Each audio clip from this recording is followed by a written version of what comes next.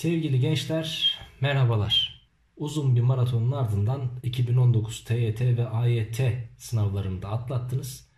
İnşallah iyi geçmiştir sınavlarınız. Sınavlar hakkındaki yorumlarınızı, düşüncelerinizi e, TYT sonrasında sordum ama AYT sonrasında sormadım. Biraz e, olayın sevincini veya şokunu veya üzüntüsünü rahatça yaşayın diye e, bir şey de sormak istemedik. Çünkü e, morali bozulanlar olabiliyor sevincini abartıp e, diğer arkadaşlarının moralini bozanlar olabiliyor.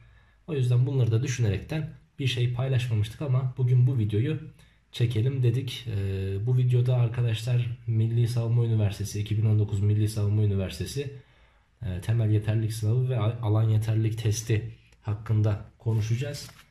Bunlar hakkındaki düşüncelerimi sizlere dile getirmek dile getirmeye çalışacağım. Umarım sizlerin de ufkunu açabiliriz Sizlere de yol gösterebiliriz. 2020 tayfa içinde bazı uyarılarımız olacak illaki. Şimdi sevgili gençler bu sene YouTube'da baya güzel işler yaptık Kenan hocamla beraber, Irmak hocamla beraber. Bu sene ben kanalımda acil matematik TYT soru bankasının tamamını çözdüm. Rejenerasyonu çözdüm. Reaksiyonu tekrar baştan çözelim dedik. Çözüm çeşitliliği olsun diye. Çünkü AYT sınavında da ee, hani sorular ne kadar zor gelecek, ne kadar yeni nesil gelecek, ne kadar e, zor olacak tabi bunları bilmediğimiz için bir baştan çözelim dedik. Onu baştan çözdük. Türev ve integralde çok güzel ama çok güzel benim çok içime sinen bir konu anlatımı yaptım. E, toplam birisi 10 video birisi 9 video olacak şekilde türev ve integrali anlattık. E, bunların haricinde türevden, integralden ve permütasyon kombinasyon olasılıktan e, soru çözümleri yaptık. Bunun haricinde kanalımda bulunan videolarla beraber sizlere destek olmaya çalıştım. Ee, tabii ki YouTube'da bir sürü birçok e, konu anlatımı ve soru çözümü yapan matematik öğretmenleri de var. Onlara da saygı duyuyorum. Ama e, elimden geldiğimce herkesten daha fazla iş yapmaya çalıştım. Tamamen kendi çapımda tabii ki. Sonuçta ben de bir öğretmenim, bir kurumda çalışıyorum. E, kurumdan arta kalan vakitlerimde, gecenin yarılarında kendi zamanlarından çalıp bazen hasta olmama rağmen e, sizlere ders anlattım. Sizlere sorular çözdüm. Sizler geri kalmayın diye e, birilerinin dualısını kazanabiliriz diye e, hasta da olsak, tökel de olsak biz burada sizlere bir şeyler yapmaya çalıştık. Hatalarımız olmuş mudur? Olmuştur illaki. Yanlışlarımız olmuştur. illaki olmuştur. Hepimiz insanız. Hepimiz hata yapabiliriz. E, ama dediğim gibi genel amacım her zaman e, sizlere yardımcı olabilmekti. TYT ve AYT hakkında TYT'yi gördünüz arkadaşlar %80'i yeni nesil sorulardan oluşuyor ki 2018 TYT'den daha fazla bir orana sahip bu. 2020 TYT'de artık soruların %90 veya 90'ından fazlasının yeni nesil sorular olmasını bekliyorum. Yine AYT'de özellikle geometri kısmında yine birazcık yeni nesil sorular vardı. Matematik kısmında yine 2-3 tane koymuşlardı fakat seneye daha fazla olmasını bekliyorum. Haberiniz olsun. Milli Savunma Üniversitesi TYT'nin geçen senede habercisiydi. Bu senede habercisi olmaya devam etti. Ee, çoğu öğrencimden Milli Savunma Üniversitesi gibiydi. Ondan bir tık daha zordu veya bir tık daha kolaydı diye 2019 TYT hakkında yorumlar aldım. Ben bu sene sınava girecektim ama e, başvuruları kaçırmışım. Ama sınav e, iple çektim gerçekten soruların nasıl olduğunu soruların e, acaba bizim çözdüklerimizle benzer bir yanı var mı yok mu bunları gerçekten merak ederek bekledim iki günü.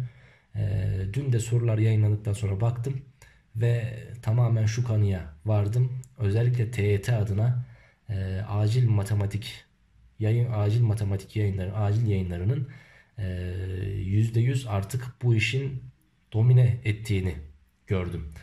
Neden diyeceksiniz? Çünkü Milli Savunma Üniversitesi'nde de biz e, bu seneki Milli Savunma Üniversitesi'nde de e, buradan sizleri uyarmıştık. Dedik ki böyle böyle olacak bakın. Acil matematik çözün, acil matematik çözün, TYT'yi tekrar edin. Hatta ben yorumların çoğunda da hocam acil matematik bitti artık son bir ay ne yapmam lazım diyen öğrencilere de otur kitabı tekrar et de demiştim. Ee, izliyorsa o yorum yaptığım kişilerde tekrar yorumda bulunabilirler.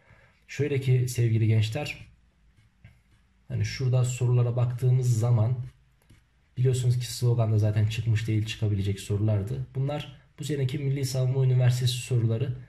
E, hocam soruların sol tarafı sayfanın sol tarafı neden blurlu diye e, soracak olursanız ÖSYM soruları YouTube'da yayınlanmasını istemiyor arkadaşlar. Tabi bazı YouTube kanalları yayınlıyor fakat e, sütten ağzımız yandı yoğurdu üfleyerek yeme muhabbeti var biraz.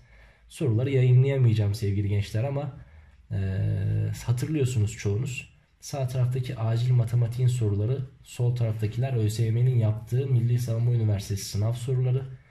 Biz bunların benzer olduklarını, biz bunların e, neredeyse birebir aynı olduklarını size zamanında dile getirmiştik Milli Savunma Üniversitesi sınavından sonra. Soruları da yan yana koyup demiştik ki işte bakın burada buyurun e, daha ne olması gerekiyor şeklinde. Burada bakın Kurdelalı soru neredeyse birebir aynı soru. Ee, yine burada mesela görselli bir soru soru verilmişti. Soruyu hatırlayacak olursanız anıl yazılması isteniyordu. Bizde sadece klasik bir soru olarak A testlerinin içerisinde taner kelimesindeki harfler rastgele diziliyor. Ertan olma olasılığını sormuştuk bizde. Ee, buyurun sol tarafta bir sinema salonu pardon tiyatro salonu sağ tarafta ise acil matematiğin kitabında yine aynı mantık aynı e, cümlelerle bir sinema salonu gösterilmişti. Görseli verilmişti.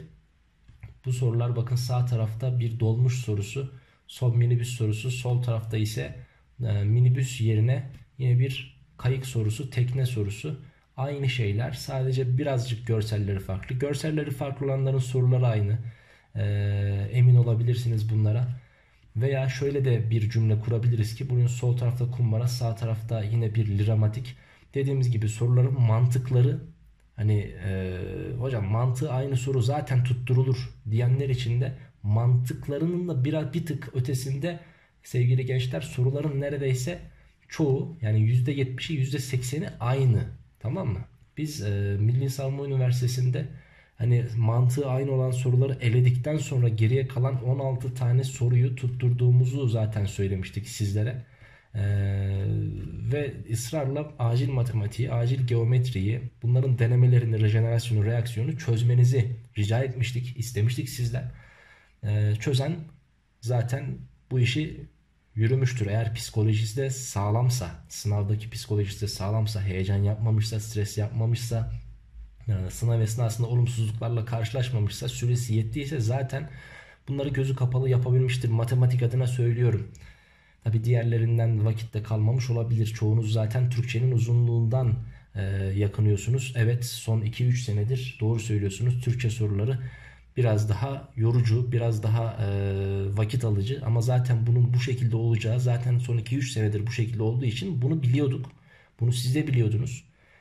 Dediğim gibi olmuşla ölmüşe çare yok. Hani sınavı birazcık kötü geçenler için söylüyorum. Olmuşla ölmüşe çare yok ama bundan sonrası için e, bu uyarılarımızı dikkate alın. Bunlar Milli Savunma Üniversitesi'nin e, sorularıydı. Bir de size şunları göstermek istiyorum. Bunlar da sevgili gençler 2019 TYT ve AYT geometri soruları, matematik soruları. Buyurun sağ tarafta bu sefer sağ tarafı blurladık arkadaşlar. Çünkü sağ taraftakiler ÖSYM'nin soruları. Ee, soruları zaten direkt acilin soruları gördüğünüz zaman 2018-2019 TYT ve AYT sorularının neredeyse aynı olduklarını da görmüş olacaksınız. Sağ tarafta bir çanta verilmişken sol tarafta bir tablo, çerçeve verilmiş.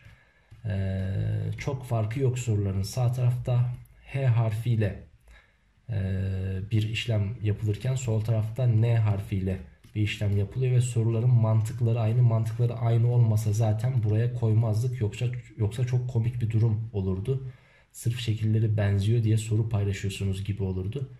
Ee, gördüğünüz üzere arkadaşlar yine bu sınavda da fazlasıyla fazlasıyla soru var. ÖSYM'ye benzer sorular olarak. Son iki yıldır zaten bu durum bu şekilde oluyor. Ee, önümüzdeki sene de açıkçası biz bu şekilde bekliyoruz. Ee, size tek tek uyarı yapmaya gerek yok. Artık bunu algılayın arkadaşlar. Lütfen rica ediyorum.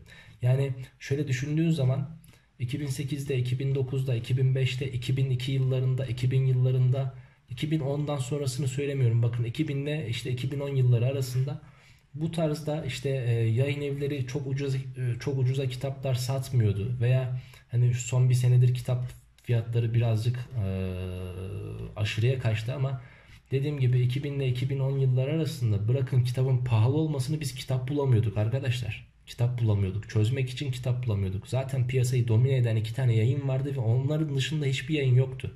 Dershanelerin sadece fotokopi kitapları vardı. Biz çoğu zaman İstanbul'dan fotokopi kitap getirtiyorduk. Veya işte ben Ankara'da yaşıyorum. Kızılay'a e, yaşadığım yer Kızılay'a 60 kilometre uzaktaydı ve ben gidip Kızılay'a e, fotokopi kitap çektirmek zorundaydım. Ki zaten fotokopide de çeşitli yayın yoktu zaten. Hani biz bu şekilde çalışıyorduk. Ha şu bir gerçek tamam eyvallah bu konuda siz haklısınız. Bizim zamanımızda sınav klasikti ve her, sınavda çıkan soruları her yayında neredeyse birebir aynılarını bulabiliyorduk. Tamam çok güzel bulabiliyorduk evet. Ama şimdi de şöyle bir durum var ki bakın birkaç sene sonra yine e, TYT ve AYT'deki soruları yine çoğu yayında bulmaya başlayacaksınız. Ama bu işi son iki yıldır zaten acil domine ediyor. Ve biz ısrarla acil çözmenizi rica, rica ettik sizden. Yani bu sorular bu kadar bariz, açık ve net e, belliyken, önümüzdeyken, karşımızdayken biz neden hala ısrarla çözmedik? Ben buna anlam veremiyorum. Ee, kendi çalıştığım kurumda da ısrarla ama ısrarla girdiğim sınıflarda acil matematik TYT kitaplarını, AYT kitaplarını zorla çözdürdüm, ödevle çözdürdüm. Ee, iyi ki çözmüşler. Yani şu an bunu söylüyorum. İyi ki çözmüşler. Çünkü çoğu klasik kitapla artık bu işin olmayacağını öğrenciler de anladı, öğretmenler de anladı. Tamam. Ee, dediğimiz gibi tutturulan soruları gösterelim istedik. Sınavlarınız hakkındaki yorumlarınızı zaten yorum kısmına yazın. Tek tek cevap vereceğim hepsine arkadaşlar. Canlı yayın yapmayı planlıyordum ama beceremem diye korktum biraz. Kusura bakmayın. Ee, yorumlarınızı yazın arkadaşlar. Sınavın nasıl geçtiğini, acil matematik e, kitaplarının sizlerde nasıl bir katkı sağladığını lütfen yorum kısmından belirtin arkadaşlar. Sağlamadıysa da belirtin. Açık olalım, objektif olalım. Sağlamadıysa da belirtin arkadaşlar bunları. Ee, sizlerden bu yorumları bekliyoruz. Umarım hepiniz için hakkınızda hayırlısı olur. Ee, başka bir şey dileyemem, başka bir şey isteyemem zaten. Ee, umarım herkes bu sınavdan istediğini almıştır. Umarım seneye bir şey bırakmamışsınızdır kimse. Çünkü insan ömründen bir sene bile e, gitmesi biliyorsunuz ki insan ömrü nedir ki 60 yıl 70 yıl. Hani Allah uzun ömür versin 80-90 olsun. Ömrünüzden giden bir yıl bile tamam bunda da vardır bir hayır ama e, hibe edilmiş bir yıldır. O yüzden inşallah mezuna mezun arkadaşlar için tekrar mezuna kalmam, kalmamalarını diliyorum. 12. sınıf arkadaşlar için mezun psikolojide mezun psikolojisini hiçbir zaman tatmamanızı diliyorum Allah'tan. İnşallah çok güzel e, sonuçlar alırsınız. Sınavı kötü geçenler için de bariz kötü geçenler için de arkadaşlar üzülmeyin. E, bu sene olmadıysa seneye olacaktır illaki. Ama dediğim gibi bu işin şartı, ilk şartı düzendir arkadaşlar. Bu işin ilk şartı psikolojidir arkadaşlar. Bu işin üçüncü şartı ancak ders çalışmaktır. Önce kendinizi düzene sokacaksınız. Sonra psikolojinizi düzelteceksiniz. Diyeceksiniz ki heyecan yapmayacağım, stres yapmayacağım. E, sosyal medyadan uzak duracağım. Ders çalışmak için ben YouTube'u bile önermiyordum. 2 sene öncesine kadar, 3 sene öncesine kadar YouTube'u bile önermiyordum. Ama Artık bu iş buraya doğru kayıyor çünkü YouTube'da çok güzel şeyler olmaya başladı. Kitap çözümleri var. Eskiden çözemediğimiz bir soru için hocanın peşinde 20 dakika 25 dakika koşardık. Kapısının önünde beklerdik. Hocam şu soruyu bir lütfen çözün diye. Hocanın inisiyatifine bağlıydı. Yorgunsa işte çözmüyordu veya işte ne bileyim keyfi yerinde değilse çözmüyordu. O da bir insan sonuçta. Ama bu bulunmaz bir nimet. Çünkü YouTube'da ben moralim düzgün olduğu bir saat içerisinde veya yorgun olmadığım bir saat içerisinde yorgun bile olsam ben bu videoyu çekiyorum. Oraya yüklüyorum ve YouTube'daki SML hoca hiçbir zaman yorulmuyor. İstediğin zaman açıyorsun çözümlerine bakıyorsun. Bu bu kadar kolay. Elinizde bu kadar güzel nimetler varken bunları değerlendirin arkadaşlar. Lütfen rica ediyorum. Çünkü artık ders çalışmak zor bir olay. Gerçekten zor bir olay. Tamam imkan çok ama o imkanı sana göstermeyecek ve senin dikkatini dağıtacak olan etmenler de çok fazla. Facebook'tur, Instagram'dır, Twitter'dır, e, WhatsApp'tır, akıllı telefondur. Genel olarak internet, telefon ve bilgisayar üçlüsü bir araya geldiği zaman zaten ders çalışmayı bırakıyorsunuz. 2020 tayfa size de söylüyorum. Lütfen arkadaşlar bu sene olacaksa bu sene hocam ben bir senede çalışacağım ve tamamlayacağım. Mezuna kalacak arkadaşlar. Sizlere de sesleniyorum. Bu sene olacak mı? Olacak. Tamam. O zaman telefonu, sosyal medyayı, interneti bırakıyorsun. Bu asosyallik demek değildir. Sosyal medyadan uzak kalmak asosyallik demek değildir. Sosyal olacaksan da illaki bu sosyalliğini dışarıda, sokakta, arkadaşlarına sinemaya giderek, tiyatroya giderek, dışarıda eğlenerek, futbol maçına giderek, sadece dinlenerek, temiz hava alarak da gerçekleştirebilirsin bu sosyalliği. Sosyallik yanlış anlaşılmasın arkadaşlar. Sosyal olmak demek telefonun elinde her şeyden haberdar olmak demek değildir. Yer bildirimi atmak değildir. Ee, işte durum paylaşmak değildir arkadaşlar. Lütfen. Biz zamanında bunları yapmıyorduk ama gerçekten şu an olduğumdan daha sosyal bir insandım ben. Ee, bu telefonlar, bilgisayarlar ve internet olduğu sürece biz sosyal insan olamayız. Lütfen arkadaşlar asosyalliği e, karıştırmayın. Ders çalışmakla asosyallik arasında doğru bir orantı yok. Lütfen arkadaşlar e, bunun arasındaki ince çizgiyi de fark edin. İnternetten, bilgisayardan ve telefondan lütfen ama lütfen uzak durun. Bir senenizi daha heba edecekseniz, mezunlar için konuşuyorum. Lütfen yararlı bir şekilde olsun bu. Değecek bir şekilde olsun. Tamam bir senemi daha verdim ama değdi deyin en azından. Bunu beraber diyelim arkadaşlar tamam. Yine dediğim gibi çok geçmiş olsun. Sınavı çok güzel geçen arkadaşlara da gerçekten onları da tebrik ediyorum. Hak ettiklerini almışlardır umarım.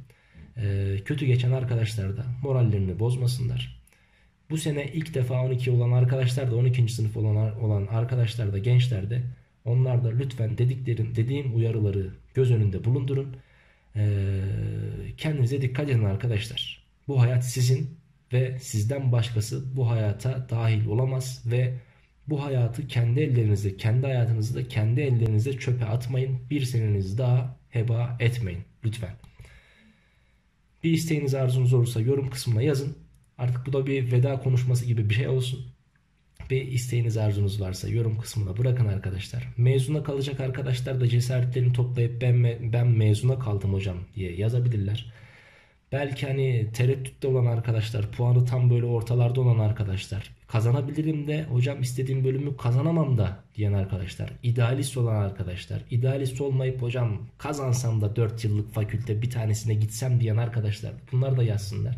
Sınavı iyi geçen arkadaşlar, derece yapacak olan arkadaşlar da yazsınlar. Çok kötü geçen arkadaşlar da yazsınlar. Bir görelim bakalım, bir muhabbet edelim, bir sohbet edelim. Herkese yetişmeye çalışalım bari. Ee, biz küçük bir aileydik biraz biraz yavaş yavaş büyüyoruz. Abone sayımız da bugünlerde düşmeye başladı tabi sınavdan çıkınca. Arkadaşlar abone sayısı falan önemli değil. Allah yolunuzu açık etsin. İnşallah bir daha beni dinlemek zorunda kalmazsınız. Ee, dediğim gibi yorum kısmında bekliyorum arkadaşlar. Hoşçakalın, sağlıcakla kalın ve bol bol matematik çalışmayı da unutmayınız.